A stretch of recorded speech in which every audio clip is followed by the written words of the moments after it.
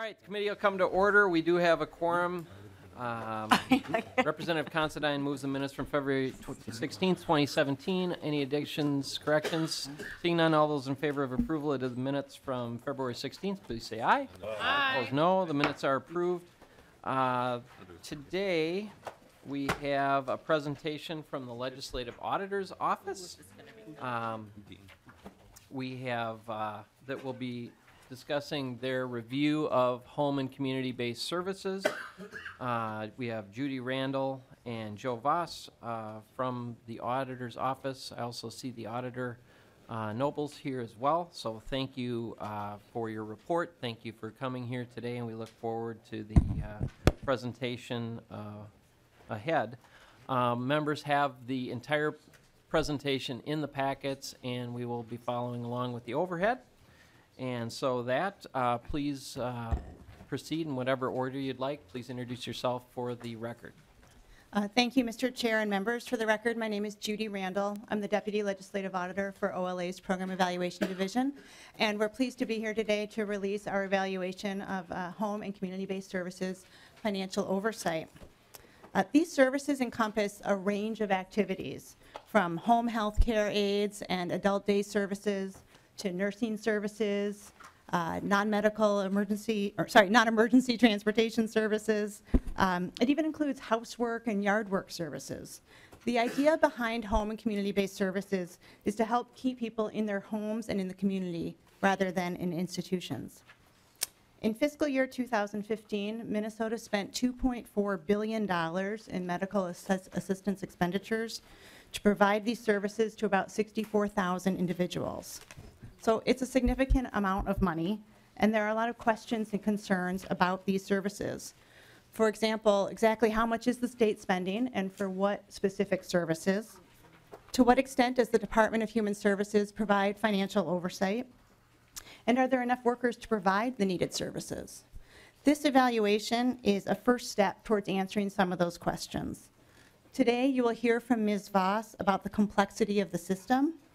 You'll hear that very similar, practically identical services are called different things depending on which program or which waiver uh, they're delivered through. You'll also hear about different reporting requirements, again, depending on which program or waiver is used. And you'll hear about the different levels of oversight the department provides depending on the type of provider that is um, offering those services. So to hear about the details of our findings and to hear about our recommendations for improvement, I'd like to now turn to Ms. Vos, who was the evaluation manager for um, this evaluation. Thank you, Mr. Chair. Thank you. Welcome to the committee, Ms. Vos. Thank you, Mr. Chair. Um, For the record, my name is Jo Vos, and I'm with the Legislative Auditor's Office.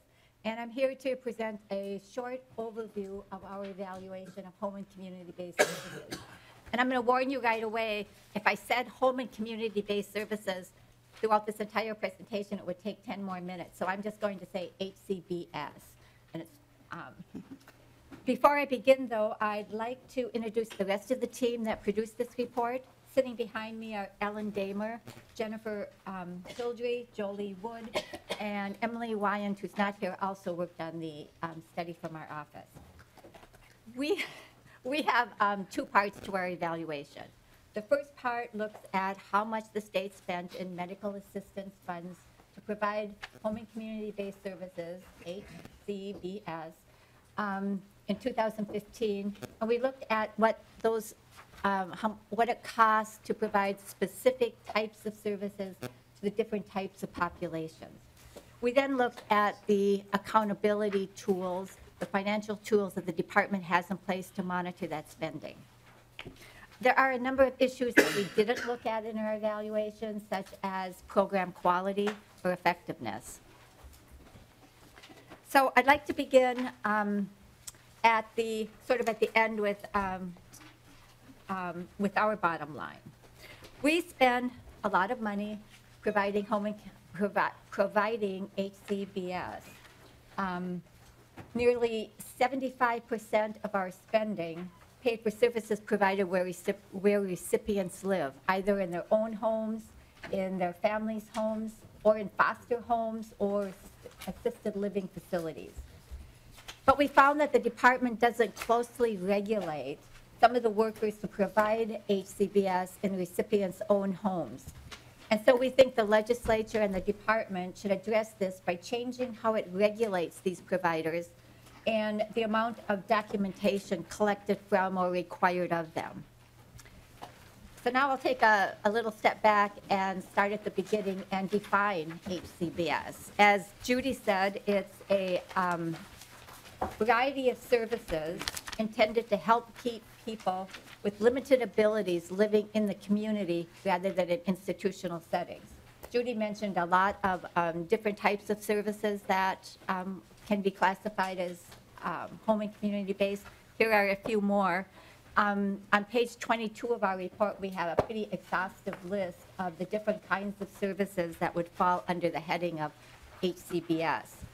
Again, they're designed to keep people out of places like nursing homes, hospitals, and intermediate care facilities. In our evaluation, we also defined home and community-based services rather broadly to include services provided to medical assistance recipients with disabilities who receive services through the state medical assistance plan, as well as people who receive the services through one of the state's five federally approved waivers. Um, Waivers give the state a lot of flexibility in deciding who's going to get these services and the different types of services they're eligible for. Four of Minnesota's waivers, the, the first four listed, are directed at people with certain types of dis- disabilities, and the fifth one covers the elderly. The big difference between these two ways of getting HCBS is that waiver recipients, as opposed to state plan recipients, waiver recipients must be at risk of institutionalization without the services. This slide shows um, how average costs vary depending on whether recipients receive home and community-based services through the MA plan or through one of the state's waivers. The top bar um, shows that it costs on average about $13,000 per recipient when services were provided through the state MA plan. In 2015, somewhere between 27,000 and 28,000 people received home and community-based services in this way. Um, The next, oops, the next five bars show, um, let me back up one slide here.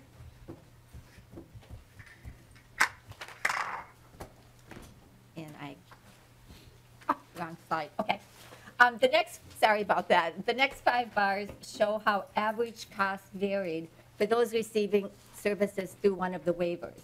The most costly waiver on a per-person basis was the chronic health conditions waiver. It came in at about $170,000 per recipient. In 2015, a little more than 200 people received services through this waiver. The lowest cost waiver on a per-person basis was the elderly waiver. It um, served about 6,000 elderly um, recipients at an average cost of about $9,000. I need to caution you, though, that our data capture only a small share of the elderly population who receive home and community-based services through a waiver.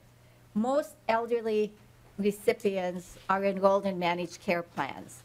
And um, managed care plans pay for home and community-based services themselves. And so they, those data are not reflected um, in our data. Now this slide, it, it shows um, how much it costs to provide the different types of home and community-based services that we described in, on page 22. The majority of expenditures went for services provided in residential settings. 31% were spent, uh, of the money was spent on supported living services. These are services designed for people with developmental disabilities, and they're provided either in recipients' own homes or in foster care homes. Foster home and assisted living services made up 19% of expenditures. These programs largely serve people with other types of disabilities, but as the name implies, they're pretty much um, provided solely in foster care or assisted living facilities. Personal care at home health aid services um, made up 19% of expenditures, and these services are generally provided in recipients' own homes.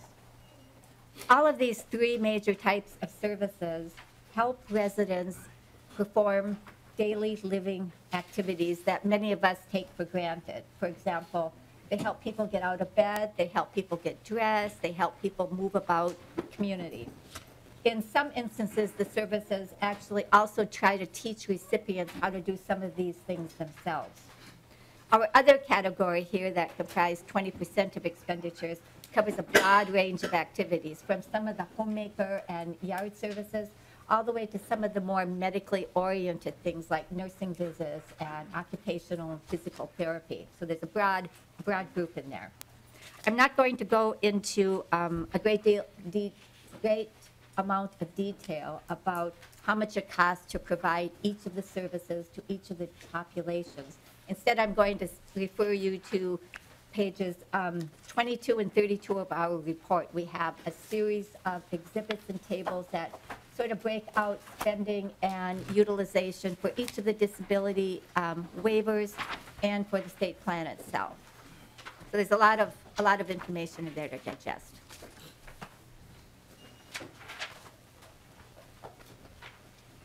Um, Now I think I'm going to turn more to the um, financial accountability side of our evaluation. Excuse me, Ms. Vos? Yes? We have a couple member questions. Um, What would you prefer to do? Would you prefer to take them as they come and see how it goes, or would you prefer to go through a section and then go to questions, or to go through the entire uh, presentation? Um, I'm willing to do whatever you want, Mr. Chair. All right, let's uh, go to a couple questions. We'll see how it goes, and uh, if we get behind, we can, um, we can uh, uh, delay the questions. Okay. Uh, Representative Gruenhagen. Oh, thank you, Mr. Chair. Uh, Thank you, Ms. Vos, for your presentation. And just to, you know, one of the things you said is the HMO service some of these people, if I heard that correctly? And in terms of the weaknesses you point out in the report, was there any checking with the HMOs, how they address those areas? And uh, if they have similar difficulty in those areas, or uh, if they found ways to uh, bring accountability in those areas? I guess that's the question. Okay. Ms. Vos. Mr. Chair, Representative Gruenhagen, um, the, we do not look at managed care plans at all. We look pretty much at fee-for-service plans or those um, expenditures that are reported to the Department of Human Services and they collect. The um, managed care um, side of it was sort of off the table. Representative Gruenhagen. Okay. Nothing further. Our Representative. Uh, Thank you, Mr. Chairman. Uh, Thank you for coming today, uh, Ms. Vos.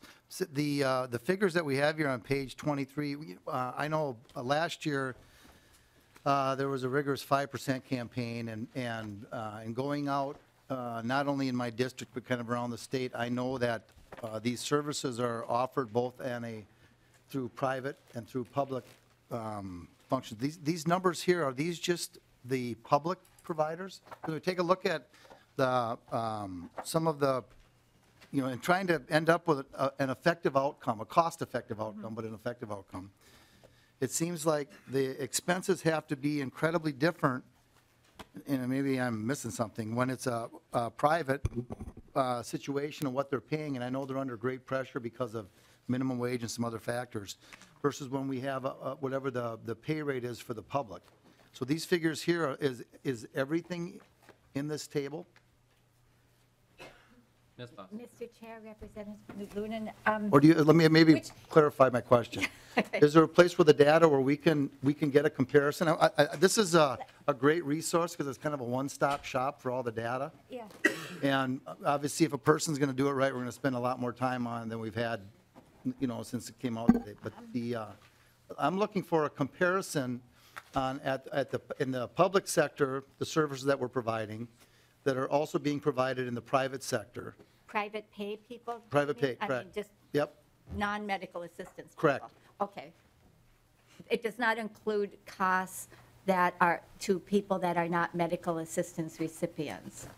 Um, we, we're only dealing with medical assistance recipients, adult recipients. So, Mr. The, Chairman? the providers themselves are, can be either profit or nonprofit or public agencies. Okay. And, and we're capturing all of the money we're paying those three different types of providers. If that is anything, Yep, Mr. Chairman. The, uh, um, so, you know, what that tells me is that we, um, me included, have to do some diligence to go find out these other situations where this problem is trying to be solved, and it is, I mean, it is obviously a legitimate problem that has to be addressed. The different ways that, that it is being addressed, to try to set up some kind of grid comparison, finding out, you know, the results, the different ways, you know, for-profit, not-for-profit entities are doing it, uh, and what some of the uh, cost comparisons are, uh, not necessarily to beat anybody over the head with it, but to get kind of a global picture of seeing uh, the different ways that it's being done. The, uh, um, well, I'll just wait with the rest of my questions as you go along. Okay. Thank you. Please continue, Ms. Vos. Okay, thank you. I'm Um, sorry, Representative Franson. Thank you, Mr. Chair. Um, Just as we're going on uh, this report here, are we discussing federal funds or all state funds? um, Ms. Mr. Fox. Chair, Representative Franson, we are dis- discussing all funding. So this is It federal, includes state and federal. state, and federal? Yes, Okay, yes. thank Great, you. thank you, Ms. Vos. Representative Liebling.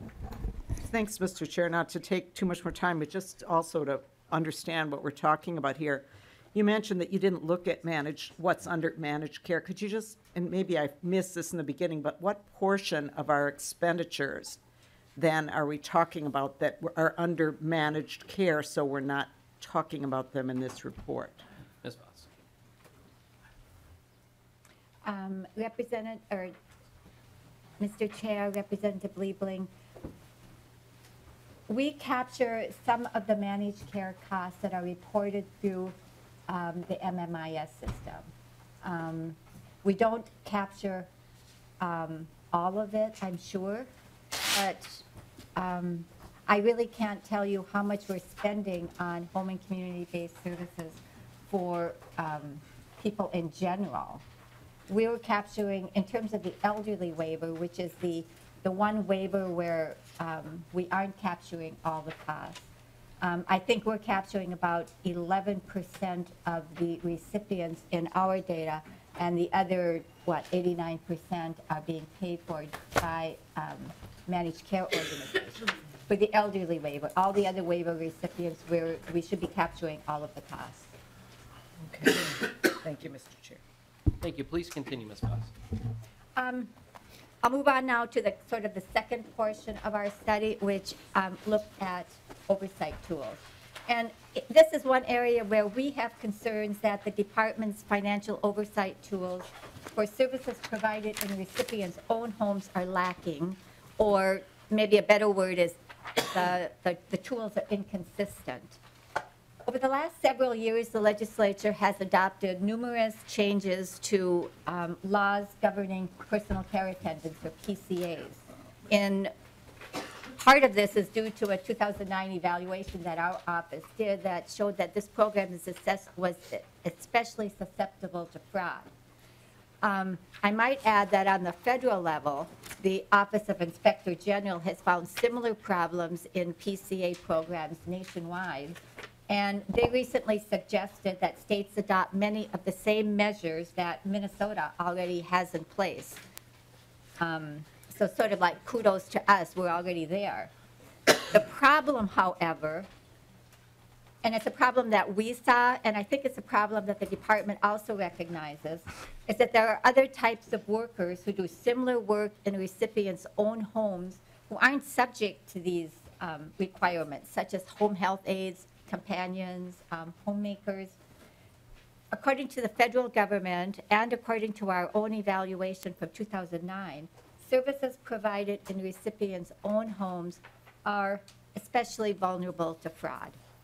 And so perhaps, you know, no big surprise, um, we're recommending that the legislature extend what is currently in place for PCAs to other types of workers doing similar work in recipients' own homes, um, requiring individual workers to register or enroll with the Department of Human Services, limiting the number of hours they could bill the, um, the department for, and requiring periodic checks to make sure that these people are actually there performing the work. Excuse me, Vos, just uh, on that specific note, um, PCAs, I think we're, you know, most of the members on the committee are pretty familiar with what they do. We had the, uh, we had your- your report specific to PCAs and overbilling and fraud and that kind of thing. Uh, But there's also a lot of other professionals who do work in the home, sometimes very medically complex work in the home, um, and sometimes uh, other services. Could you maybe just go through a few of what, what those services might be and, and how they might bill and who they might bill? Just so I think folks can kind of get a, Okay. a flavor of that. Um, Mr. Chair, um, when we use the word personal care attendant, we mean just personal care attendants who help people with their daily living um, skills and, and help them just live. Um, There are also, and if you go to page um, 22 again in the report where we list the services, we have separate reporting categories that we show in our tables for licensed nursing services, um, for the various therapies, OT, um, PT, things like that. Actually, if you look, if you kind of stream down through a lot of the, the exhibits in, in pages 22 to 32 or whatever, you'll see that the costs involved in some of those more medically oriented um, services, it's not very big. I mean, there, we don't spend a lot. I think the, um, under the waiver for people with chronic health conditions, there, half of the costs are going for nurses. It's a, it's a much more medically oriented, I think, um, disabling condition. But the other um, types of waivers, uh, those sorts of services don't comprise a lot of money.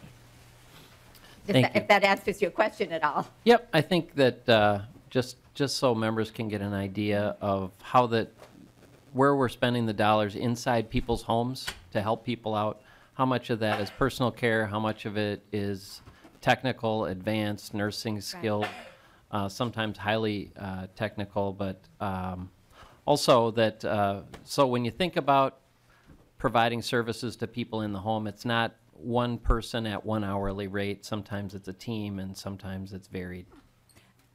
Um, Representative Dean, um, Mr. Chair, um, rates vary by the type of person, um, and the rates are, are set out in statutes. You know, if you're providing just basic care in a foster home, there's a lot of factors that go into what the rate is for that one person. Um, But for the most part, our study, when we say personal care, it just means, uh, it's not the more advanced Correct. services. Yeah, and I think you'll probably get to some of the, the higher cost uh, individuals and focus pieces, just so, so uh, members get an idea that it's not all the same person delivering the same care, depending on the, the situation. Please continue. Okay. Um, Okay, so our recommendation then is to extend the PCA requirements um, to other types of workers who are doing similar things. And here we're, we're referring specifically to people like home health aides, um, homemakers. Um, These are people who tend to work, do the bulk of the work in residential facilities, honestly. And, um, and a lot of times, and actually most of the time, they're there by themselves doing the job. They're not there with the team necessarily. Um, As part of our evaluation, we also talked with a number of counties and providers and numerous um, advocacy groups and interest groups, and we asked them about the biggest issues facing the um, home and community-based services system. And one of the biggest concerns that they had revolved around a number of issues, all kind of related to workforce. First, there are just simply the, the demographic changes that we really can't ignore. Um, Fewer people are entering the workforce. They're, they're um, entering the workforce at a slower rate um, than the number of people who will likely need services. Um, According to the State Demographer's Office, it- the 10 years following 2019 will be the most severe in terms of overall labor shortages in the state. So we've got fewer people entering the workforce. Many of the kinds of, um, the wages aren't high for the types of home and community-based service workers who perform the bulk of the work. Um, Specifically, people who are PCAs or home health aides. Although the average wa- hourly wage for these types of staff are generally higher in Minnesota than in most other states, they still don't make um, a whole lot of money. Um, Across all healthcare industries in Minnesota in 2005, these types of workers made somewhere between $11.50 and $12.50 an hour. And being a direct care worker in a HCBS setting, um, it's not easy. It, it can be very hard work, both physically and mentally. Um, again, it's for relatively low wages. And when we talked with providers, some of them told us that they have a hard time competing with the Super America down the street, who can pay basically the same wage, but for work that's a whole lot easier than performing home and community-based services these all sort of lead ultimately to um, staff shortages. Uh, Worker, or providers are having a hard time finding enough workers, and things are just going to get worse. And so um, we recommend that the legislature require the Department of Human Services to periodically collect data on staffing specific to home and community-based service settings. Things like the number of direct care workers employed by each provider, um, the wages that they're paid, the average hourly wage, staff turnover, things like that. We think this type of targeted information is necessary for state policymakers to develop appropriate strategies to address the, the workforce issues facing the industry in the state. We also think that this information will be needed um, later on to assess the effectiveness of any strategies the state has adopted, and then to make whatever changes may be necessary. Um, A number of organizations on a national basis have made similar recommendations to this. Um, In Minnesota here, there were a couple of bills to this effect introduced um, last session, and I know the governor has made a proposal similar to this um, in his latest biennial budget. I can't, I can't leave here today without saying something about the overall framework in which HCBS is provided. It's a complex framework, it's a confusing framework, and to be honest, I don't know which came first, the confusion or the complexity. Um, To begin with, Uh, the, the department doesn't pay for hum, for HCBS in a consistent manner across waivers. Depend, it depends to some extent on the type of health plan people are enrolled in. Also, the same or similar services are provided um, either through the state plan or across the waivers. And as I alluded to before, different terms are sometimes used to describe the same or similar types of services. For example, foster home and supported living services, while directed at different groups of people, involve similar tasks, but are called different things. Likewise, personal care attendants and home health aides, they're called different, they have different names, and they're also regulated in a different manner. I don't think this is, you know, necessarily all the fault of the department or all the fault of the legislature. One of the reasons for the overall complexity to the framework is that it- the system has developed over time. We um, received approval, for- approval for our first waiver back, I think, in the mid-1980s. And things have been added to individual waivers or to the system as a whole ever since. And so we've just had a system where something more is added or something is taken away and then something else comes. And it's almost like a patchwork or, or just a series of add-ons and deletions. This um, is sort of a national problem too. A 2016 report by the General Accountability Office recommended that the federal government do more to standardize policies and reporting requirements aga- um, across different types of age, of activities and programs. And so we recommend and think that a little more standardization across waivers and health plans in terms of the menu of services available to people and reporting requirements for providers would help make the system easier to understand um, both the policymakers and the general public. One way we might be able to do this is to, by consolidating our five waivers into a single waiver, offering a single menu of services basically to everybody. Over the last several years, the federal government has given states a lot of flexibility to design how they administer their home and community-based services um, system. In addition to making the system easier to understand, combining the waivers into, um, the five waivers into one could help counties better address um, clients' individual needs. I might add that the, um, the governor, in his latest budget proposal, recommended hiring an outside consultant to study whether or not Minnesota's four waivers that are based on um, a disabling condition should be combined into one. So I guess it's not exactly a new idea, um, but I think it's one that the state should be considering or at least looking at. And that is our evaluation in sort of a nutshell. Um, We have a lot more data on pages 22 to 32 of the report where we present a lot of cost utilization things. Um, I'm happy to answer questions. We have the department's response on page 69 of the report, and I know they're here to respond themselves, so I won't go into it. Um, All right, uh, Ms. Vos, thank you so much for going through the presentation. uh, And I know the department is also here to respond to that and both to respond with questions. Is there questions, are there questions about the, um, the presentation from members? Representative Liebling?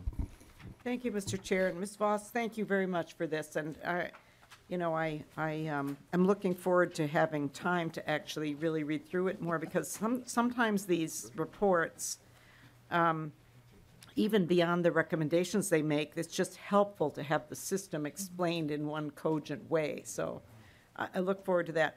My question, though, is I'm still a little bit hung up on this thing about the um, managed care organizations and, and how all that is working. And um, I know it wasn't, or I'm assuming it wasn't really your charge to look at what the managed care organizations are doing and where it, where they're doing things that are also being done outside of managed care. But I really would like to know more about that piece of it. And I, I did find, someone sent me a note that on page 23 of the report, it says that, um, that uh, 25,300 managed care enrollees received HCBS through the elderly waiver at a cost of around 400.5 million in fiscal year 2015. So that's a good piece of data to have, but that's only the elderly waiver piece. And I, I just, could you just sort of explain to me again, I'm not sure I totally understood, like, to what degree is, are the managed care organizations doing this also, or separately, or, I'm just trying to get the context of how much of the system is here in the report, and how much is still the black box that we need to go and figure out i- in a separate way. Ms. Um, Vos? Mr. Chair, Representative Liebling, um, when it comes to the waivers, the, only the elderly waiver is, those costs are the only ones that managed care organizations pay themselves. The rest of the waivers, all of the other costs that we have, that, um, if those members are served by a waiver or by a managed care organization, those costs are reported to DHS, and DHS actually pays all of those costs. So we've captured, for all of the waivers, we've captured everything but this 400.5 million, which I, I would add, um, that's money, or th- those are costs that the managed care organization pays themselves out of the capitated rate that the department pays them already. And so, um, so that comes out of those costs. So we've already, the department has already sort of paid that bill elsewhere. And so we didn't include it, it wouldn't be included in our data. It's my understanding that for people who are receiving services through the state plan, that managed care organizations do report out and, and we've captured it. Um, Personal care attendant, some of the big categories, personal care attendant services, um, nursing services, um, that those are, we've covered all of those. Uh, Representative Liebling. Thank you, Mr. Chair, and thank you for that. So, great. So, so I think the bottom line here then is that the report is, given how much money we spend on all of this, most of it is for sure captured in this. And then what about that other four hundred point five million, which in the scheme of things sounds small, but is a whole lot of money, actually? Is there any way to get our arms around, um, you know, how that's being spent and whether the controls are in place and all of that, the same issues that you've mentioned in the report? Okay, um, Ms. Vos. Mr. Chair, Representative Liebling, um, for the elderly waiver, managed care organizations do report out how much they're spending by each activity um, to the department, and they have reports of it. Um, But because the managed care organization is actually making the payment, not the department, the, those payments don't go through the automatic reimbursement checks that, um, that the other, that the payments that go through the department go through. For example, the, you know, the automatic computer checks and the, you know, flags being raised by certain expenditures that look out of line. Um, There, and we do not know how the managed care organizations themselves watch for those sorts of things. Uh, If that answers your question? Yeah. Representative Liebling. Thank you, Mr. Chair. Well, yeah, and maybe the department can comment on this too, because, you know, even though, yeah, it's being paid for out of those capitated rates, the way this all works, as I understand it, is that they report their expenses and then it gets baked into the next year's rate setting. Yes. So ultimately, if they're not using proper controls, if there's mm-hmm. fraud and if they're, you know, it, we, we become responsible for that anyway. So ultimately, it's all on the state, it's all on the taxpayer's dime. Right. And so, but maybe the department can comment about how they, because that would be part of the rate setting, I assume, or part of their control over the MCOs. Thank you. All right. uh, Representative Lunan. Uh, Thank you, Mr. Chairman. And actually, to Representative uh, Liebling's question, is it uh, the attitude of the report that DHS does a good job of, of uh, um, managing, th- th- as far as the HMOs, what they're doing, you know, when they're involved? Um, Mr. Chair, Representative Lunan, um, we did not look at how the department manages managed care. Um, That was beyond the scope of our evaluation, and I believe the managed care organizations are, there's a different division even in, um, in the department that looks at the managed care, the public managed care health plans. Representative. Uh, One of the data pieces I'm going to look for, and I, and my question before I used, I'm new on this committee, so I used a wrong word. I said public when I, when I meant state-run. We have services that are provided that are, that are through state-run entities, and then there are private entities. And uh, I'm going to try to collate or find a, a cost comparison on those services, um, uh, what the difference is on some of that. Uh, In, you know, getting involved in these situations and going and looking at some of these facilities, one of the powerful stories I was told was it was a, adult residential facility, and the people that worked there would, would transport, would uh, drive the, the, uh, the the residents to a job that we're supplementing. And what that person was making at that job was more than what the counselor or the employee of that facility was making. And that's a, that's a tough work morale thing to resolve when we take a look at some of the costs. So we've got pressure on these entities uh, regarding uh, um, competition because of uh, minimum wage, and that's a whole nother discussion. But, uh, and so they have percentages. One of the places I talked to had 18% vacancies on some of their work positions. And this is work that has to be done, and so the people that you have left have to work overtime. And now we introduce the, the overtime rule, and what it's doing is, it's just exasperating the financial situation these entities are in. And I'm not contending I know the solution, but I'm getting a, a clearer, clearer picture of, what some of the problems are. Uh, one of the question, uh, questions I have in your report, uh, had to do with the little ancillary number running around regarding fees and rate setting. It was on page 43. And there was a statement in here, if I go to the bottom of the page and I come up one, two, three paragraphs, the last sentence of that paragraph says, however, according to DHS, some of the providers have found ways to bypass some of the safeguards they have regarding rates of the pass-through. Um, Would you, can you walk us through that? Ms. Vos. Mr. Chair, uh, Representative Lunan, I would suggest that you ask the department about that. We did not look for instances of fraud or abuse. Um, I know that with, as a result of some of the um, safeguards that have been built in, especially with the requirements that we have now for PCAs, that the Office of Inspector General has reported um, actually saving and recovering a lot of overpayments. Um, At the same time, the way the system for the race is set up is that it's, we have one, one rate that you're going to get paid for a certain kind of service, and providers can't, can't get into the system to change that. They also can't get into the system, my understanding, to change um, the individual service agreement that uh, would indicate how many hours of service the person is supposed to get. So they, they can only charge for certain kinds of services that have been approved. It's my understanding from talking with Inspector General staff here that, that they've had instances where um, people have been able to sort of try to bypass the system. Um, I don't know the size of the problem. It's more or less a warning.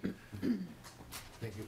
Um, Mr. Chair, Representative, I was wondering if, um, if you turn to page, um, if this is somewhat a little bit like some of the information you're looking for in terms of the kinds of providers that we have, but on um, page 34 of our report, we do show um, the type of provider who's providing these services, and we break it down by for-profit, nonprofit, public, agency, um, and other. And, and we show the amount of money they're getting and the um, number of people they've served.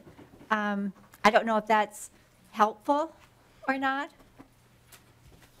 I was using the right term when I said public then. I think you were. I think you were.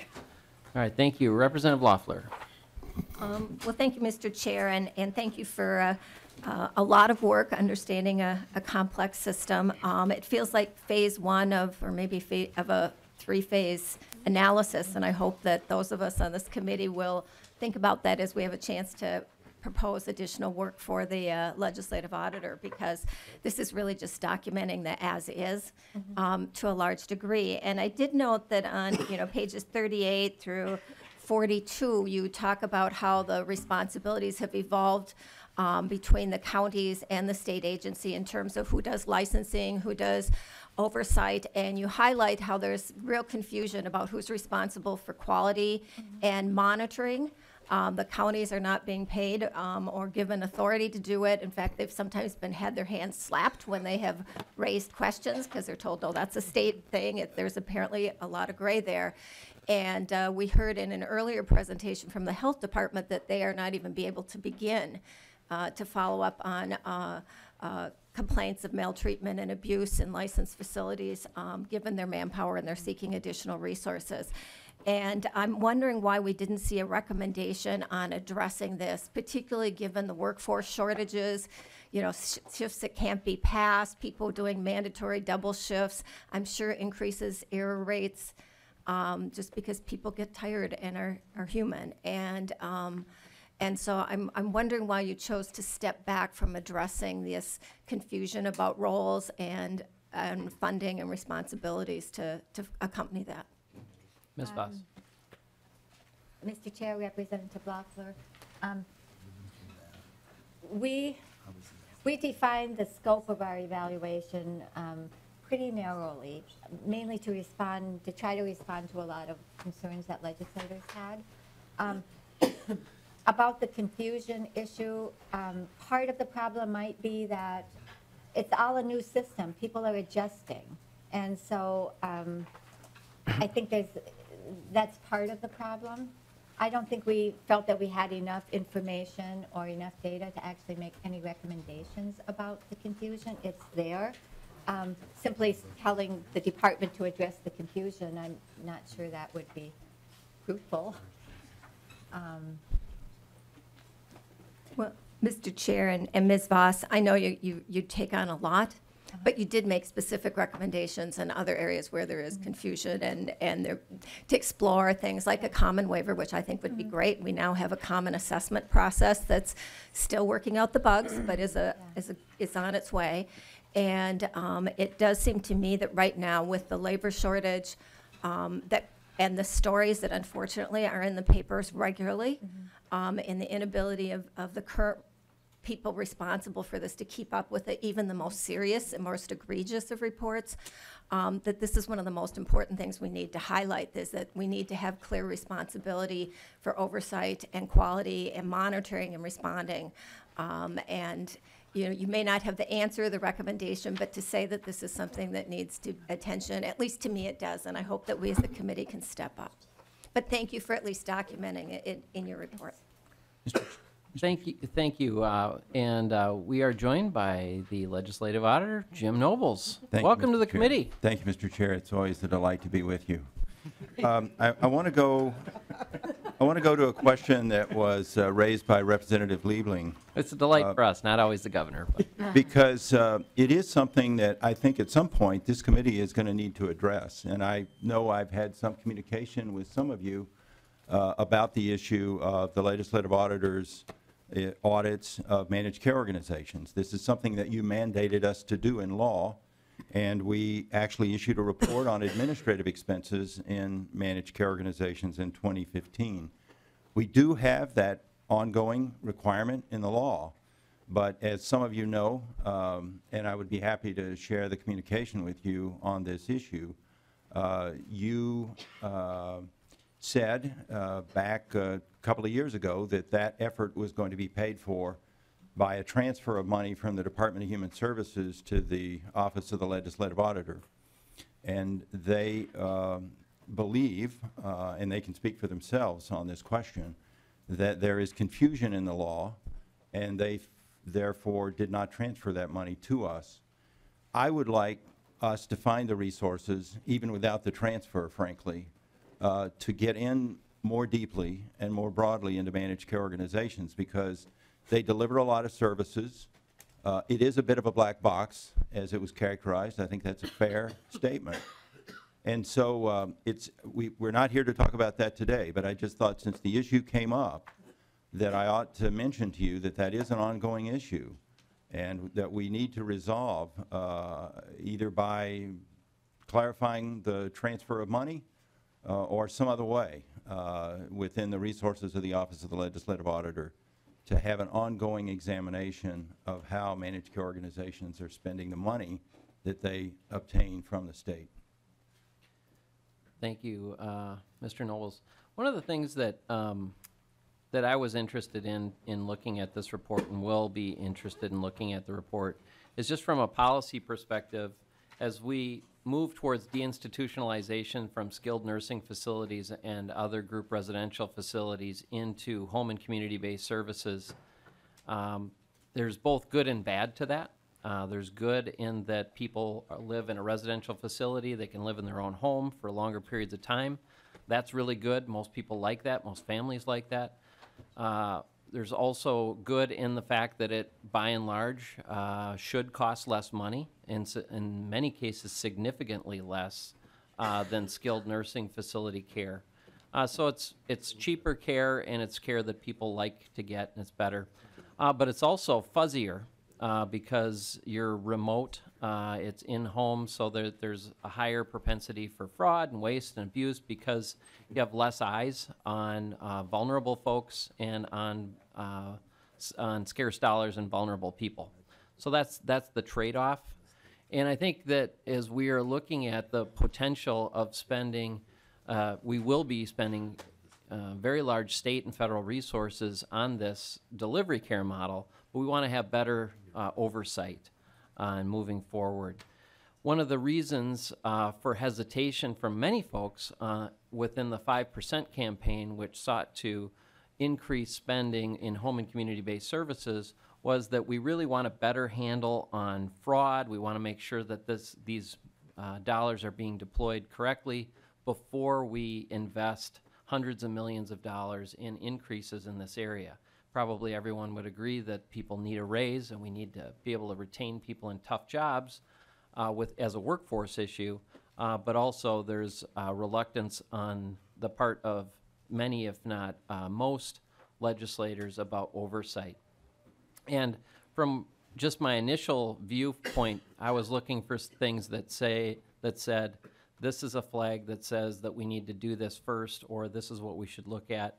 And in particular, I'm looking at page 52, where you've got, uh, you've got some, some very specific recommendations on oversight. Just from a policy perspective, is, is there things that jump out as the lowest fruit uh, or surprises that you came up with uh, from a policy perspective as we kind of examine the potential of investing large amounts of money in this area? Um, I can Representative, or Chair, Mr. Chair. Um, I think one of, one of the things the state is trying to do is to move more people into their own homes and, and, um, and out of more provider-controlled, um, homes. And I guess the, the fact that there are so many fewer controls or measures to ensure that services are being, um, are being provided, when people go into um, a recipient's own home, I think that, that um, we need to establish a lot more tools to make sure that those people are actually delivering the services. I'm not talking about the quality of service at all. I, we don't know anything about whether or not the service is a good one or not, or whether it's the right one for somebody. We would like just to make sure that the service is being performed and that we're paying for something that was delivered. And there isn't, um, there aren't a lot of controls over a lot of those um, of workers who do that. We have controls over PCAs, but somehow other workers who go by a different job title don't have the same kinds of controls. And so it, it- it seems to me that that's actually kind of a low-hanging, easy tool to try to implement. And Ms. Vos, you, you uh, referenced um, within the OIG report uh, some immediate savings that they had available. Could you kind of um, outline that and make sure that all of our members put a sticky note by that part so we can find some money? Let me find it. Anybody? Mr. Chair, while, while Jo's, you, did you find it? No, not yet. Uh, I just wanted to comment too, um, that something we always have to um, consider, and you especially, because you ultimately make the law and set the parameters, but many of these services are business operations delivered by vendors who are running businesses. And um, that's a good thing in many ways because we've uh, not grown government employment through a significant increase over the years in the kinds of services that we are providing. But with uh, payments uh, to public, with public money to private vendors, whether they be uh, managed care organizations or just private companies that are entrepreneurial in delivering some of these services, we have to have some level of accountability and reporting. And, but what you will hear um, from them, I'm sure you do often, that you're tying our hands with red tape and you're causing us to not be as efficient as we could be because there are too many reporting requirements.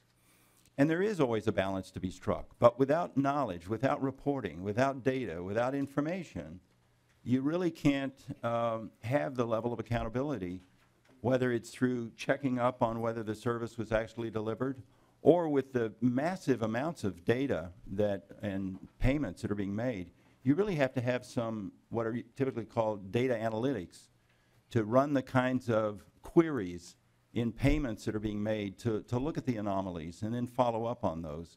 I mean, we've been running MA, medical assistance, for a very long time with lots and lots of money.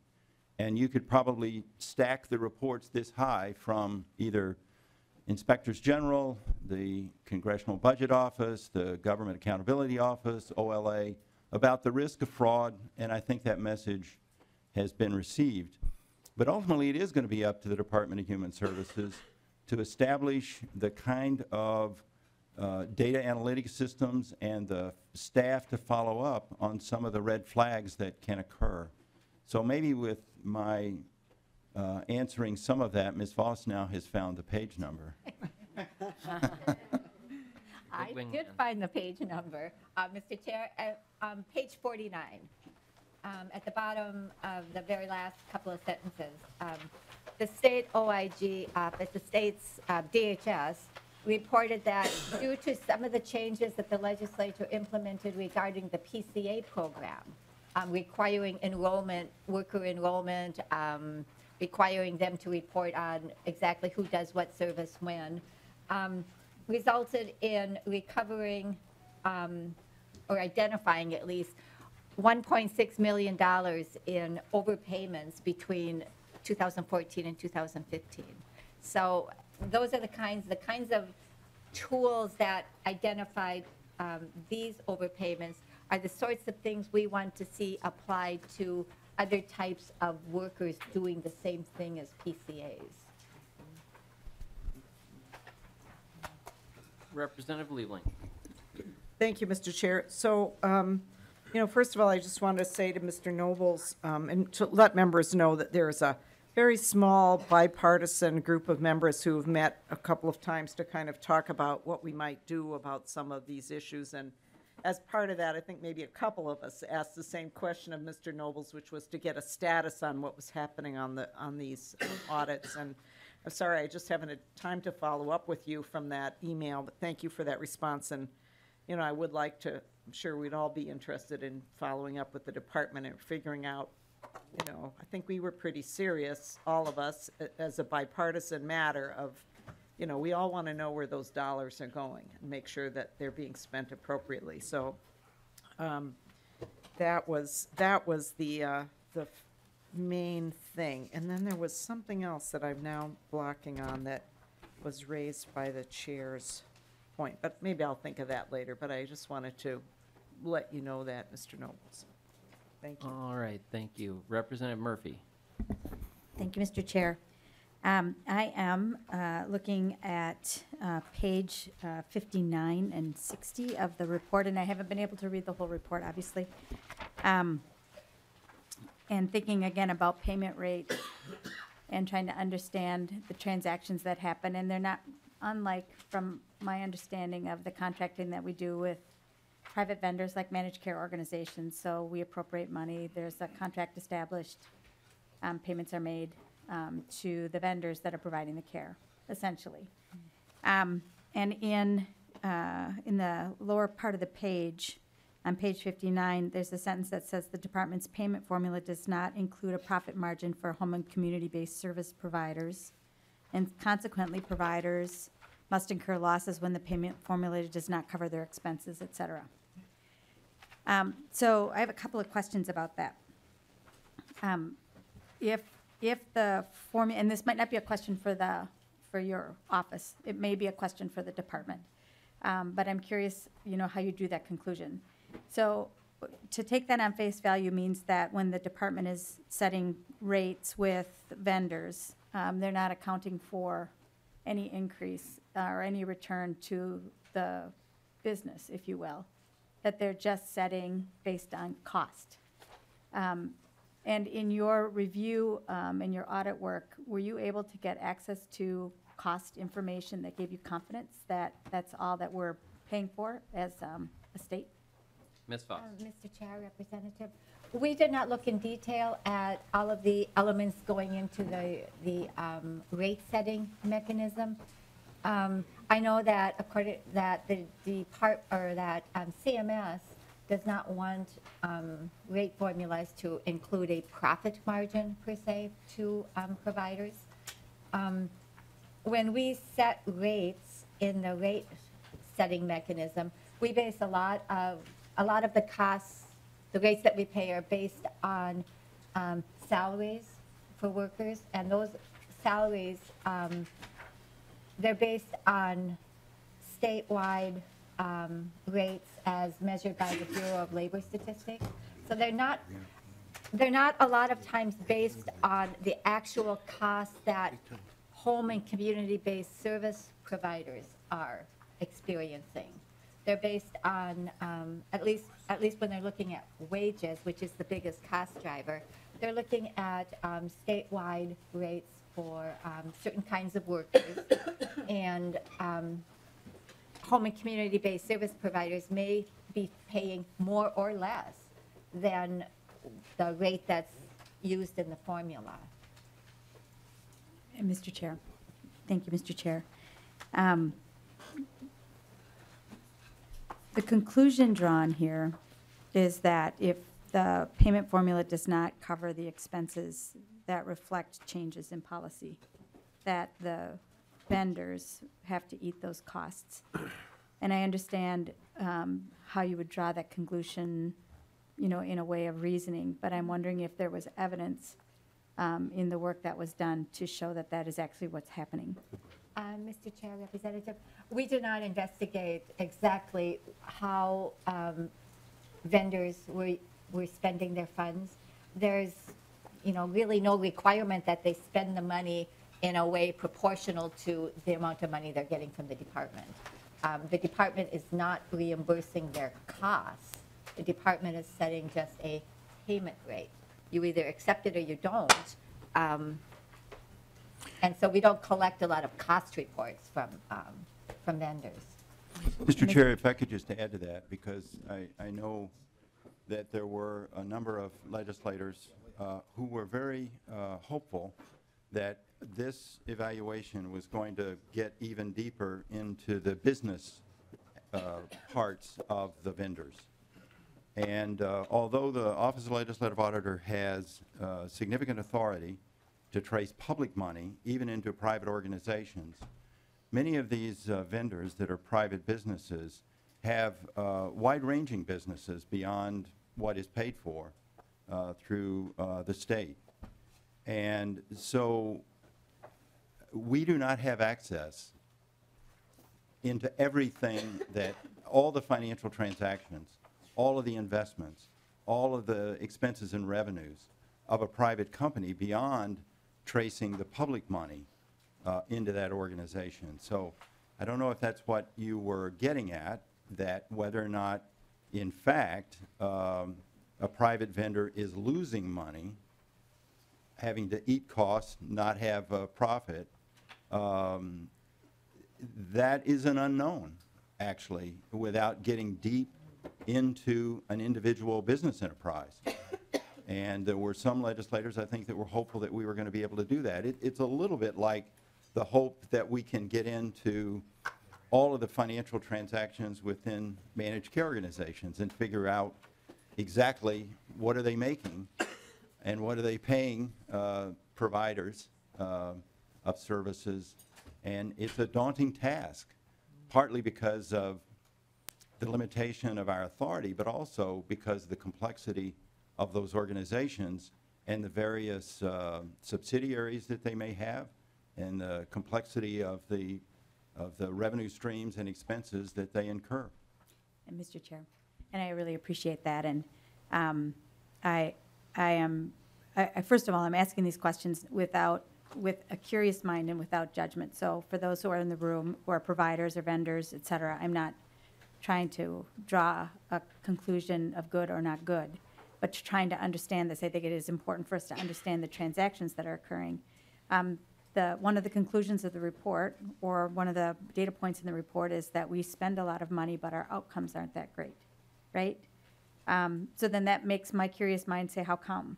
Why is that the case? And I, I know that it would be outside of our reach to examine all of the financial books of all of the vendors who do the work on behalf of Minnesotans that receive, receive public dollars, but I do think it's fair to ask um, the question of, you know, if we are, you know, there's a conclusion in here about if, if we don't adapt the payment rates to policy change, then therefore, the vendors are having to eat those costs. And I don't know that we have proof to show that. We've heard that same thing you know, with various uh, vended services through the Department of Human Services, right? So I'm, I'm challenging just the thinking about that, that point. Um, And then wondering what we do about it as policymakers. It doesn't appear to me like we have any sort of loss ratio or ratio between what we pay out and the expectation um, that those tax dollars, enough of them go to um, the care delivery or the care of the people. Um, And, and I, I wonder, right, if, uh, if the vagueness here, the lack of clarity around the dollars that we're sending to the vendors, um, and then what is happening to those dollars, if, if there's any way that we can get more clear about that, not necessarily through your office, I appreciate the work that you're doing as the auditor, but if you have further recommendations for us, or if the department does about how to, how to drill down there a little bit further, right? I, I worry all the time about us finding the balance between accountability and making sure the dollars that are getting expended are actually going to the people we wish them to go to, the people who are seeking the care. And I don't want to squeeze the care right out of the dollars by driving accountability, but there still remains some vagueness here in terms of understanding where the dollars are going, and I'm, I'm worried about that part. Uh, Mr. Chair, I guess my only comment would be, I think um, we have a real challenge um, in understanding not only at the micro level, what, what does it cost a vendor to, to deliver that service and how much do we pay?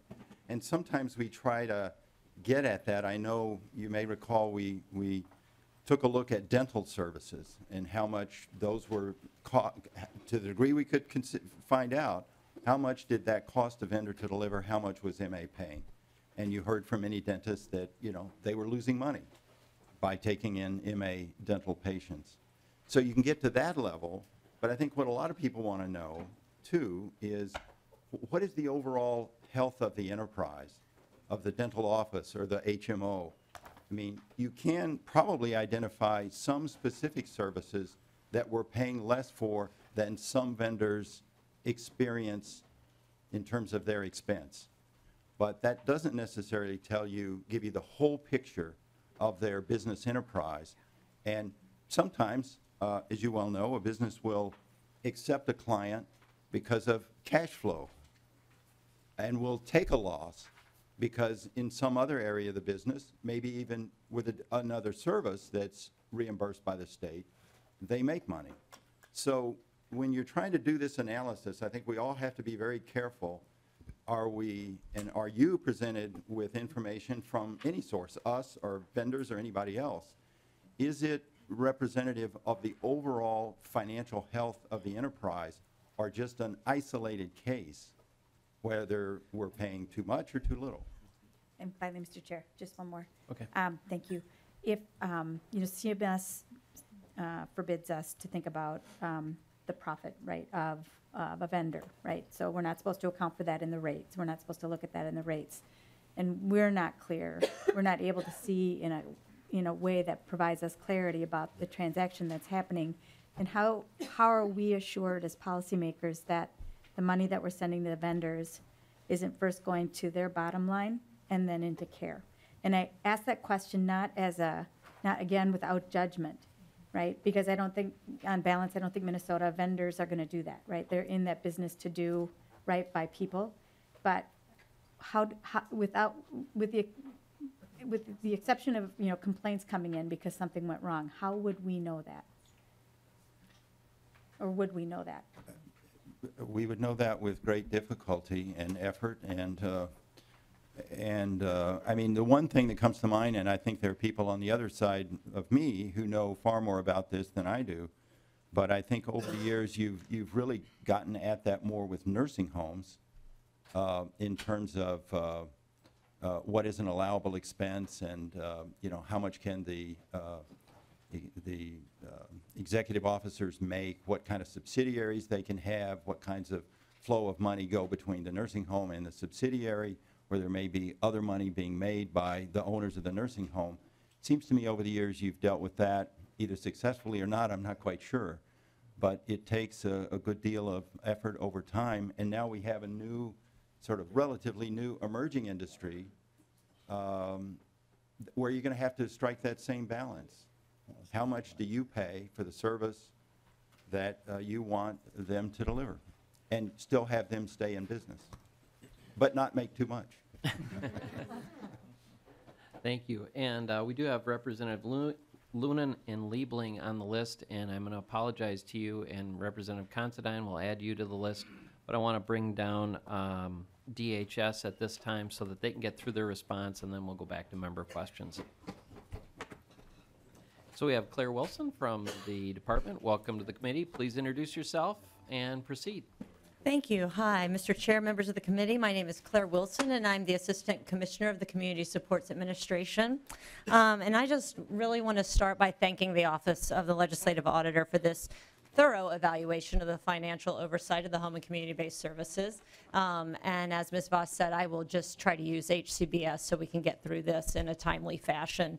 But um, the Disability Services Division and the Aging and Adult Services Division of the Department of Human Services are largely responsible for the oversight and the development of the HCBS system. And we do find ourselves in alignment with the findings of this report and grateful for the recommendations to the legislature regarding the system's continued improvement. You know, the OLA has done an excellent job of lifting up the complexities of the system. and I think their conclusions around the confusion um, are not unfounded. And they are, you know, difficulties and complexities that we experience every day as we are working to design and shift a system from costly institutional care to a system that is designed to meet the needs of individuals in the community and to support them in the activities of their daily life. It is not easy to design a flexible, responsive system, and it has been years in the making and is still being developed. And it's being developed in partnership with providers who've really stepped up to try to design and implement services for people in the community. And it's been developed in conjunction with family members and individuals who've really had to also adapt to navigating a very complex systems of services and menus of options. So, you know, the bottom line is that we're serving over 60,000 adults with disabilities to live and work and thrive in community. And that is a large expenditure. We spent close to $2.4 billion last year.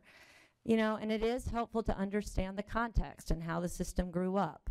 Minnesota developed its waiver program to convert that high-cost institutional care into services that serve people from birth to death. And that's not the same way other states have necessarily chosen to develop their waiver systems. And so ours has been a bit costlier. Um, and we've also chosen to support people in settings of their choice. And so there are other states where you can only receive home and community-based services in certain settings. So again, driven by our values of how we should address the needs of individuals, we've really developed a very comprehensive waivered program. You know, it was not that long ago that Minnesota had the highest per capita of people being served in institutions. And today, 94% of our of people living with disabilities are being served in the community. That's something we can all be very proud of. But there is also still a significant need for growth and improvement. Um, assuring that individuals have access to services requires that dozens of different services are offered by literally thousands of providers. As the report recognizes, this uh, certainly calls for more mature financial and administrative oversight to assure that the programs are cost-effective and streamlined. We've already seen a shift to more state oversight and standards from a time when counties managed almost all the home and community-based services, and that included provider contracts, negotiating rates, and overseeing provider performance. The Disability Waiver Rate Setting System, or DWRS, as was highlighted in the report, is a, is a really good example of how we've moved to more state centralized services. And we've taken a fragmented system of county negotiated rates and established frameworks to produce consistency in the rates, data about what it costs to deliver the services to establish a rate, and now we're trying to correlate those rates between the needs of the individuals. This process did not go off without a hitch, but it is something that we're continuing to develop and work with, and it shows promise. So the recommendations contained in the OLA report are in alignment with many of the current proposals that you can find in the governor's budget, which also support the continued redesign of home and community-based services so that we can achieve that long-term sustainability. We recognize these problems and challenges. We recognize the ones that are, you know, outlined in the report. And some of these proposals that I'm going to highlight for just a moment that are in the governor's budget are just simply, you know, a conversation around what some of these solutions can look like. So the report specifically recommends the regular collection of data, which we talked about on direct care staffing. We are proposing to collect workforce information from providers annually, and that includes rates of pay, benefits, staff turnover, and other labor measures. And that will help us not only plan and respond to workforce issues, which we know is an increasing challenge across the state, but also really allow us to recognize what the impact of uh, Department of Labor and other federal pressures are.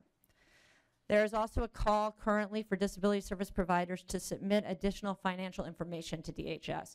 So getting to that, we, the conversation a little bit earlier about how are we auditing cost? What is it really costing to provide these services? How are we really measuring the impact on providers? And how can we ensure that the rate setting methodology really reflects cost over time? And then there's also a proposal in our policy bill to ensure that providers are held accountable to the documentation of services. So again, making sure that the services being provided are those that are being billed for. To reduce complexities inherent in a system where counties, providers, and the state are all contributing to the administration of services, the report does recommend that adoption of a common set of reporting um, and menu of services. And the governor's proposal does, the governor's budget is proposing looking at consolidating the waivers into one waiver that would allow us to more easily navigate services, manage growth more equitably, and, you know, most importantly, make sure that individuals can understand the program. There's also a proposal included to really help us examine and study what an individual budgeting model might look like so that individuals can have more control over their services and more control over the way that those um, you know, services are purchased. And that allows us also to look at other states and see how they've been doing that. So really consolidating the waivers along with an individual budgeting model would really help us move towards that flexibility with the built-in accountability. And then, of course, the department is also continually examining and implementing ways to address potential fraud in the system. It's a big, complex system with many moving parts. We've had an administrative effort underway to ensure that the correct edits are in our Medicaid management information system to ensure that the services that are authorized are delivered. And just to, to speak a little bit to outcomes, because I think the report does do a good job of lifting up that we're not necessarily where we want to be as a system.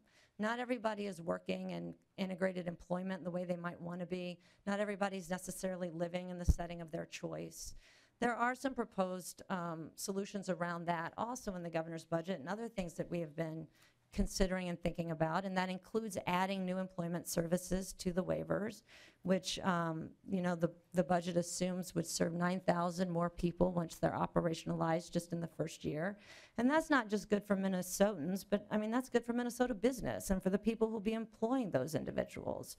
Um, we're also looking at increasing income supports and making sure that people with disabilities can access uh, um, Minnesota supplemental assistance that will help them pay for the rent, move to homes where they can live independently and be able to afford the supports that they need to do so. You know, finally, I just want to say that the waivers really serve a broad depth of people. It serves people who were served in institutions. It serves families and individuals who really helped design the services that led to deinstitutionalization. It serves people who want to live and work more independently. And today we have a generation of people with disabilities who've grown up under the ADA. They really can see that world that they want to live in. They've gone to school with their peers. They're planning for a future that includes choices about where they live. They have different expectations of the system. They're demanding it of us, and rightfully so. And so we have to be flexible enough to assure that they have the assistance they need to participate in the activities of their choice. The waivers play an integral role in this, but it also partners with other opportunities that are now being, you know, considered to redesign the system. And that includes the Olmstead Plan, which sets forward a blueprint for how state agencies can work together to ensure that the system is maturing in a way that includes transportation, education, assistive technology, and other areas where we need to ensure that the gaps in the system are addressed.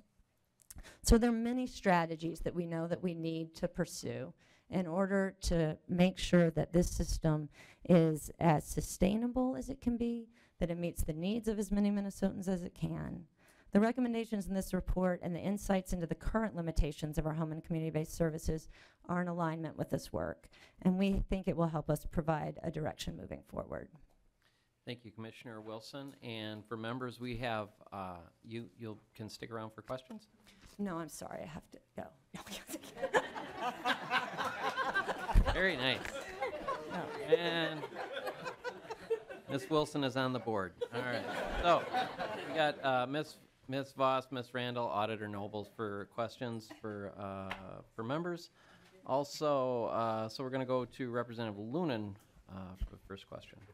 Uh, Thank you, Mr. Chairman. The, uh, you know, regarding when we give money, and I'm I'm responding to Representative Murphy's uh, comments earlier, that um, I look back at past appropriations, I think when they did a 5% um, bill or, or move years ago, they, part of the requirement was that 90% of it had to actually go into the services. So it, I'm making the assumption that we can actually earmark it, you know, any allocations that we do, we obviously must have that ability. And uh, as far as how do we ensure, or what do we have to look at to guarantee that uh, the res, the fiscal resources are going towards, you know, paying the people that are actually doing the work? The market you have these businesses, uh, well, the ones I talk to anyway, that would love to pay more because the problem they have is they can't retain employees and they have job vacancies. And the, the natural market is putting that pressure on. This doesn't have to be a, a big brother governmental oversight uh, on all of that. So I, I think some of the, uh, some of nature is, is uh, taking care of, of some of that. Uh, question I have for uh, the legislative auditor on this is the, when um, uh, Mr. Nobles was up here talking, actually, the, is it the, the findings of this report or the opinion of this report that uh, DHS could do better with uh, managed care organizations' contractual rates? That kind of a takeaway on this? Welcome back to the committee, Ms. Vos. Um, Mr. Chair, uh, Representative um, Lunan, I don't, we did not talk or make any recommendations about how the department or how the, the state handles managed care in general. We do think that it's, it's confusing when one of the waivers, um, the costs for the elderly, for example, are not reported through DHS. It's, it's confusing, and it's just a, a way of inconsistent financial reporting. Um, The state has more control, can, has more accountability measures built into how, how the money going into the state is spent, and we, I guess, um, we know less about whether or not those funds that are, that the uh, managed care organization is spending, how they're spending that money. That's, that wasn't part of our evaluation, I guess. It's just another way of paying providers, and it's just a, a little inconsistency in how pay, payments are made. And th- and then, uh, Mr. Chair, I think I'm going to take the rest of my crest- questions offline because it would be embarrassing to demonstrate how, some of the things that I don't know. So I'll just ask them offline. Uh, Representative Liebling. Well, thank you, Mr. Chair, and Representative Lunan, don't worry about that, because I'll tell you, after all these years, there's a whole lot I don't know either, so please, keep asking, because if you need to know, we probably all need to know. But um, my question, actually, what I wanted to say before that I had kind of blocked on was uh, in response to the chair asking about the low-hanging fruit and where there might be some savings here, and I, I wanted to say that one of the, one of the problems we had, I think, in the last budget cycle was that there was an attempt to capture some savings from the Medicaid program and uh, say, oh, if we can uh, find waste, fraud, and abuse, we'll take that money and it'll channel it into some kind of an account, and then that account will be used to increase rates for home and community-based services, when that's not the way our budget works. And so I, I just wanted to say that, Mr. Chair, if you're looking for low-hanging fruit that you can bake into your budget, you're gonna have to go to the speaker and get a bigger target. Because that money that you save and because MA is a forecast program, and let me just say here, if I'm wrong about this, I hope someone will correct me, because this is how I'm understanding this to work.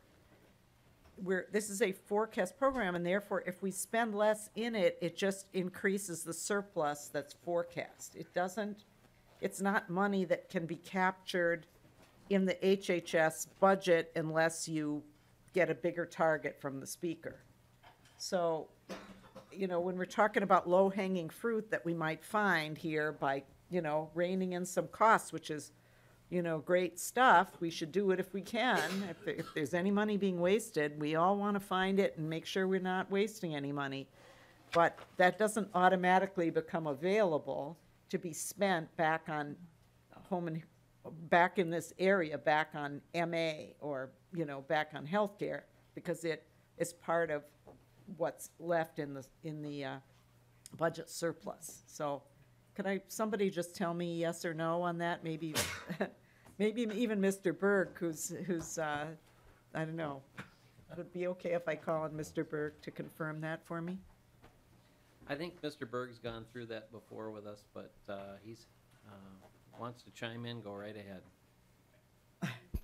Never once. Mr. Chair, Representative Liebling, I, your basic point, I mean, there's a couple things there. Your basic point that the for, it's a forecasted program, and if the forecast goes down because of savings, whatever they, those savings are dropped to the bottom line of the general fund. That's basically correct. And the reverse is true. If we, see if the forecast goes up, it costs the general fund's bottom line money.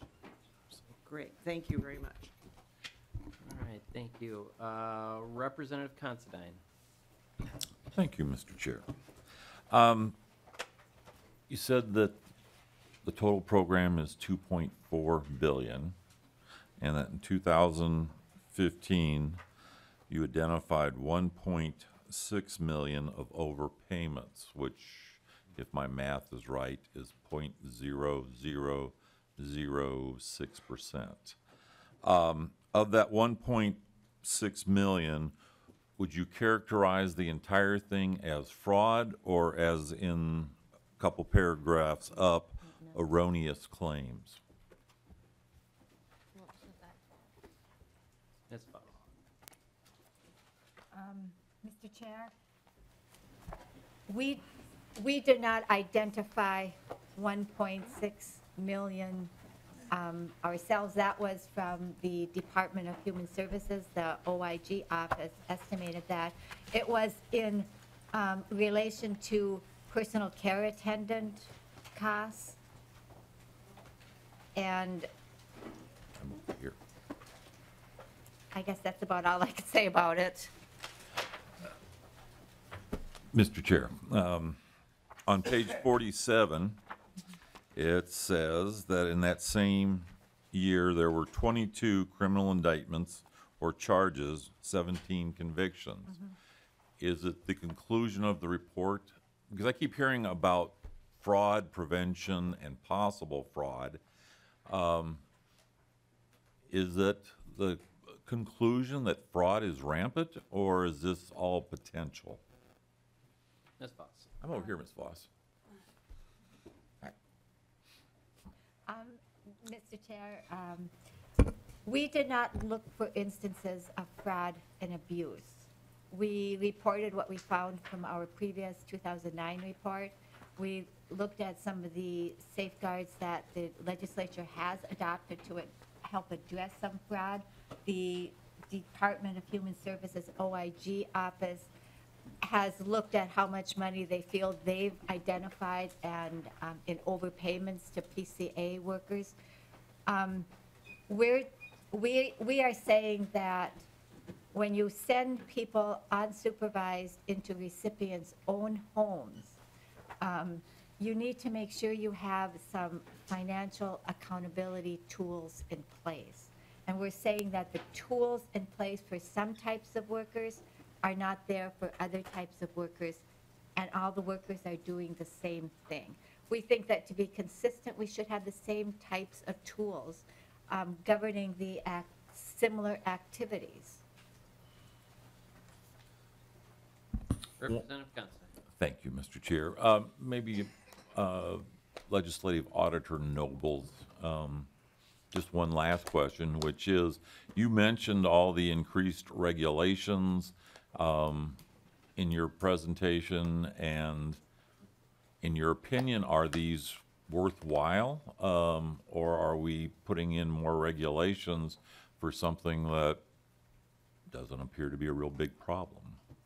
Mr. Chair, uh, members of the committee, um, I- I want to put this in the context of your earlier question, and that is the the view that is often expressed that there is um, a lot of fraud or potential for fraud and risk within the uh, medical assistance program specifically. And I would say that, as I think I said earlier, that I could bring in this room, and I'd be happy to share with you, the list of reports that come from the federal government, uh, the Department of uh, Human Services at the federal level has a very extensive office of what is referred to as inspectors general. Uh, The uh, Government Accountability Office for the Congress also does a lot of work about fraud, abuse, and error in the medical assistance program. And so I think it has just become uh, an accepted statement. Uh, I would say, for example, the uh, Minnesota Office of the Attorney General, which typically does not prosecute criminal cases, but has a special unit that simply looks at cases of fraud in MA and prosecutes those cases. And they have that unit because the federal government pays offices like the Attorney General in Minnesota, but others, to have those units because there is the belief, I think frankly, it's based simply on the idea, the reality, that there's a lot of money. There's a lot of money out there, and frankly, a, a lot of the prosecutions have been related, and no offense, again, to anybody in this room, uh, uh, have been prosecutions of uh, vendors, large organizations that provide a wide range of medical services. Uh, Many of those uh, prosecutions are pursued by U.S. attorneys in Minnesota and across the country. Um, We ourselves uh, have, on occasion, uh, worked with the federal government uh, when we have come across cases of uh, fraudulent activities against federal grants that have been made. We work closely um, just a couple of years ago with the FBI and the U.S. Attorney's Office uh, on a fraud case, uh, but typically they are prosecuted by either a U.S. attorney or the Minnesota Attorney General's office. I don't know if that really gets at your, your point. Do we need regulation? Well, I think frankly, wherever public money is being spent, you need some amount of regulation and accountability. You need some amount of reporting, uh, but it is that balance that has to constantly be drawn. Thank you, Representative. Thank you. Uh, Representative Hamilton. Uh, Thank you, Mr. Chairman, and I want to be, uh, uh, just, I'm going to choose my words very, very carefully because I don't want anything taken out of context or be misconstrued. And first, my question, and then before you respond, I want to explain my question here a little bit. My question is, um, are we reporting the right thing? um, to get the answers that we're seeking. For instance, I work uh, in the private sector, and this is where I'm going to choose my words very carefully. I work in the private sector, but I can pull up today and share with you exactly what our cost of doing business is. And not only can I share with you what the overall cost is, I can zero it in on each individual state, I can zero it in on each individual site, I can zero it in on each individual facility within that site. And uh, we can tell you exactly, we can break out the cost and tell you what the cost is um, on labor cost, right down to the penny. We can tell you what um, each individual, you know, cost is, and plus I can tell you what the production is overall, right down to that individual unit, if you will. And again, I'm choosing my words very carefully because I don't want to be comparing one system to the other. And so back to what my question is, uh, back to the auditor. Um, And uh, forgive me if it's already in here, but one, are we reporting the right thing? And if so, uh, if not, are the recommendations in here? And should we be asking for uh, a different reporting structure so that we can actually gather the information needed to make solid management decisions? And um, it's one thing about how you actually go about your business, you know, the day-to-day type of activities. Um, I'm not so um, concerned, if you will, making a decision at this point, let, leave that up to the professionals. But we need to know and understand what the total cost is, and if what we're doing actually makes sense. So are we reporting the right things? Mr. Chairman, uh, members of the committee, um, Representative Hamilton, I, I think often we are not, because uh, when we go and do audits and evaluations, oftentimes the data information that we need to make those kinds of conclusions, they aren't there. Uh, So I guess that's a simple answer to your question. What I would like to see is some collaboration between, like, members of this committee, the department, the, the vendor community, to, to establish um, a reporting mechanism that would get to those kinds of questions. I think we'd all be in a much better place. Many of you would feel more comfortable that there is a mechanism of accountability. I think the vendor community would like a more unified, simplified system of reporting. Uh, I think part of the problem, if I could just expand for one minute, it's simply the scale and size of what we're doing. I mean, I can tell you how much this report costs. I can tell you how much each page in this report costs. I can tell you how much we paid each of these people who did this work. I've run a really small office, 60 people. But I can tell you how much it costs every day to turn on the lights. They probably can't do that because they run a much more complicated, larger organization. Representative Hamilton. Uh, Mr. Chairman, and, uh, but I would challenge that. Um, And the reason I challenge that, again, and I want to be very clear, I'm not drawing comparisons. However, uh, the system that I work in, um, and I'm going to use the term units, we have uh, roughly as many units as the state has people. And we can follow right down to the individual unit and right down to the penny and the production, right? Because of the system and the reporting system that we have in place as far as a business. And so, um, and so again, if we're asking the right information to come back to all of the decision makers, um, the other concern, going out and visiting with the wonderful people that provide the care, one of the biggest frustrations is on the reporting side that they spend a tremendous amount of time on the reporting side and they wonder if anybody looks at it. And so what I'm saying is that um, being involved in a system that I am, I know there's a way to report the information to where it's not so cumbersome, so the wonderful people can't do the job that they're to do, right? That they're, that they're hired to do. So my question to all of us again is, are we asking for the right information? If not, we're looking towards all the stakeholders to help decide what that information should be. Thank you, Representative Hamilton. Uh, Representative Gruenhagen. Oh, thank you, Mr. Chair. Um, Time's expired, so maybe I should pass. Thank you. Just very quickly. um, the- And I don't want to start an argument, but the thing is, oh, yeah. On uh, page 13 of the report, it says, while Minnesota ranks high among states in spending for HCBS, it ranks lower in helping people with disabilities live or work in integrated settings. Then on page 15, it shows our state rankings, which I appreciate. And Minnesota, based on a per capita basis, the 2014 looks like we're third highest in the nation. So when you read that, you think, well, there must be some room for improvement, especially with the amount of money that we're spending.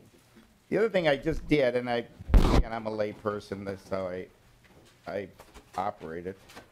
You know, I took the, I think it was 65,000 people that we, that we service approximately, and I divided it into the 2.4 billion. So we're spending on average just shy of $37,000 per year per participant. Now, if I was uh, doing this, I would look at vendors that are paying more or less than the average, and there's plenty of reasons out there probably why they might be paying more or less. And I would ask, well, why are you paying more or why are you paying less?